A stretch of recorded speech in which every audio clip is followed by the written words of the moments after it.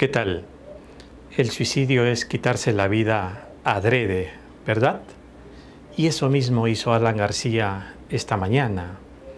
Su cruz fue el caso Lavajato y la idea de verse esposado rumbo a algún penal pesó más que el mérito de haber sido dos veces presidente de la República, líder indiscutible del partido aprista y el mejor orador político de los últimos tiempos.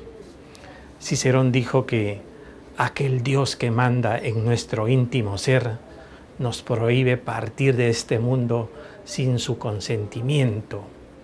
Alan era católico confeso, pero tampoco escuchó este dogma celestial y cogió su arma para trazar su destino final. Una lectora nos escribe lo siguiente.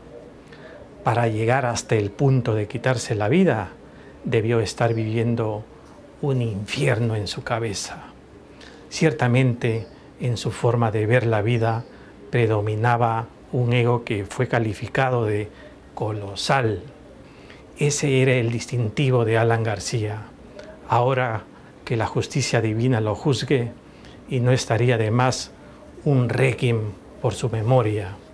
¿Cómo olvidar su declamación de la vida es sueño? ¿Qué es la vida?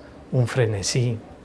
¿Qué es la vida? Una ilusión, una sombra, una ficción. Y el mayor bien es pequeño, que toda la vida es sueño y los sueños, sueños son.